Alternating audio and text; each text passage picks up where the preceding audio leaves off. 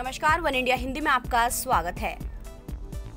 दक्षिण अफ्रीका के जोहान्सबर्ग में एक शख्स की गर्लफ्रेंड उसको छोड़कर चली गई, जिस वजह से वो पूरे दिन परेशान रहा। लेकिन उसी दिन उसकी किस्मत बदली और वो करोड़पति बन गया। उसको खुद इस बात का विश्वास ही नहीं हो रहा था कि इस मुश्किल वक्त में अचानक इतनी खुशियाँ मिल जाएँगी।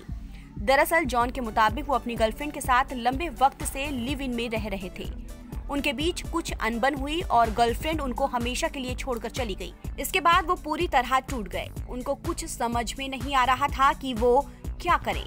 इसलिए उन्होंने तुरंत उठकर अपनी लॉटरी की जाँच करनी शुरू कर दी। तभी अचानक पता चला कि वो तीन मिलियन पाउंड की लॉटरी जीत गए हैं। इंडियन रुपए में देखें तो ये रकम करीब तीस करोड़ होती है।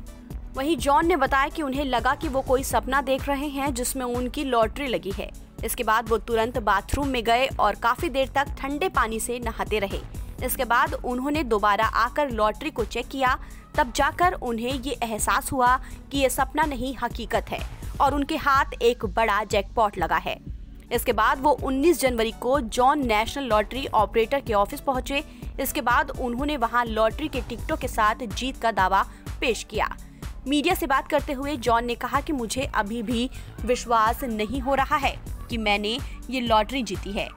एक रिश्ता खत्म होने की वजह से मैं परेशान था, लेकिन अब सारी दिक्कतें और परेशानी दूर हो गई है। आपको बता दें, जॉन ने बताया कि वो फाइनेंस सेक्टर में काम करते थे। अब उनके हाथ इतनी बड़ी राशि आ गई है, लेकिन उनकी अभी रिटायर होने की कोई योजना नहीं है। वो जीते हुए पैसों का निवेश करेंगे साथ ही उनकी दान देने की भी योजना है।